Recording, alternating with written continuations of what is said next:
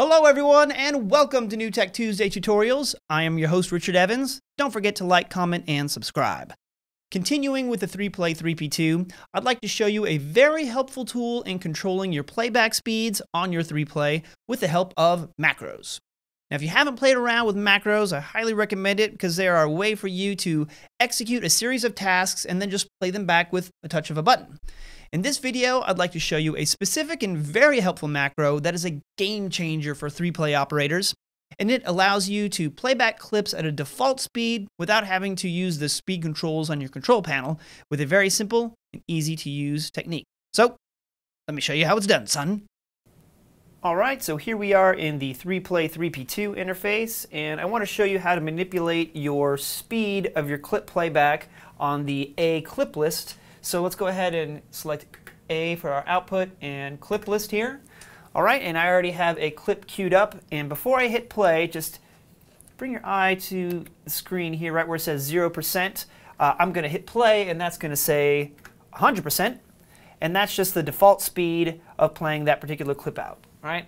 Now, in previous videos, I've also shown how you can use the T-bar or the jog wheel to manipulate the speed of your clips when you play them back. So just real quick, uh, I'm going to use my T-bar here in its uh, gas pedal mode, so I have 0% at the bottom, 100% at the top, and as soon as I push it forward, that clip will start to play. So let's go ahead and do that and try to get it to about 50%, okay? So let's do that. Let's go ramp it up. About there. All right, there's about 50%. Cool. And there's our play. Awesome. All right. Now, with the thing with that though is uh, sometimes you're not you might not be accurate going all the way up to 50%, and it goes from zero to 50, so you have to amp it up at that. So if you wanted to play back that particular clip at say 50% or 40%, you would need to create a macro to do that. And now let me show you how. All right, so pretty simple. Uh, macros are a way for you to record uh, like complex actions on the 3Play and then just play those actions back with a touch of a button. So let's go up to the top of the screen and click on macros and then configure macros and then I'll go to session macros here and now let me create a new one and I'll just title this speed playback. All right. And from here, let's go ahead and edit the uh, commands within that macro by clicking on Edit. And here's where we're going to go to start to type things in. Now, this is a game changer for 3Play operators. It's pretty simple, but uh, there are a few little steps here. So, uh, for the first shortcut, we're going to type in play and the value true, so that will play our clip. And then also, uh, the next thing we're going to need to put in here is going to be play dash speed. All right, and then the next value, that's where you can get creative with this. As uh, I'm, I'm going to put in 50% for the time being, so just 50. All right, and from here, let's just go ahead and play that macro by clicking this play button, but also keep an eye on the percentage right here underneath the A output. So let's go ahead and do that, and let's play that clip. And you'll see now that that has changed to 50%, which is going to mimic what I have here on my macro. All right. Now you can edit this, put whatever you want. So let's put it to 30. All right. And then let's hit play on that macro again. And now it's playing back that same clip at 30% speed. So yeah, you get the idea. Pretty cool, right? All right.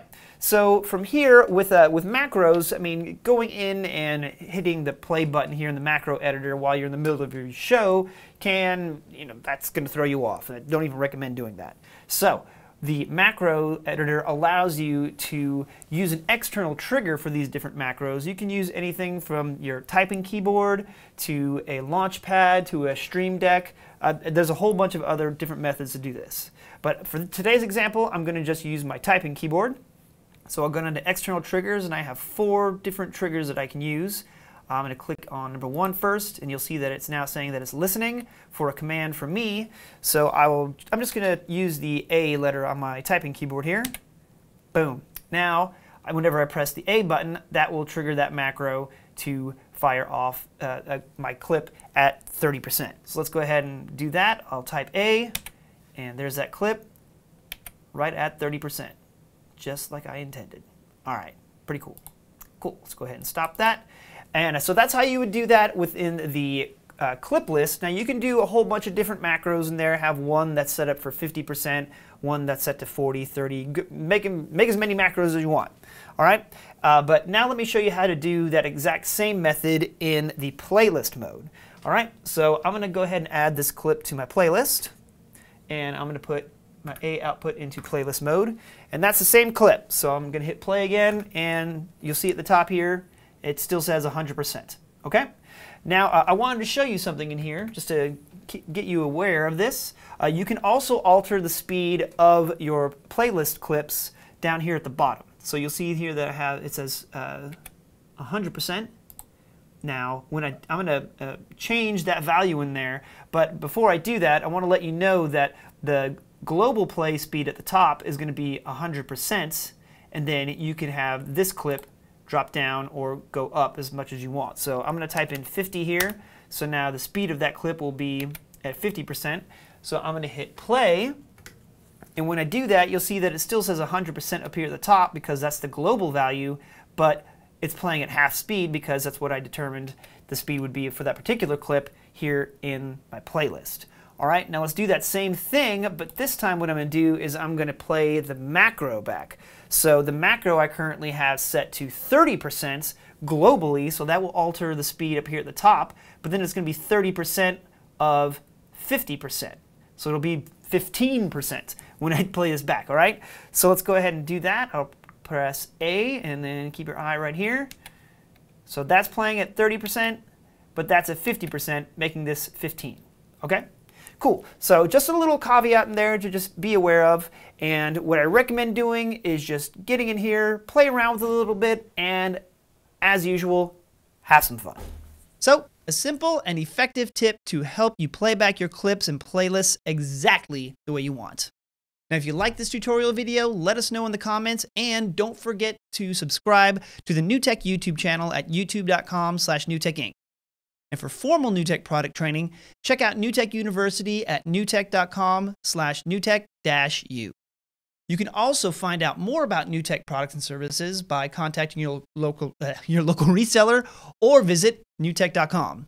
And you can even check out uh, our products and services by signing up for a free NewTek product demonstration in the comfort of your own home at newtek.com slash demo.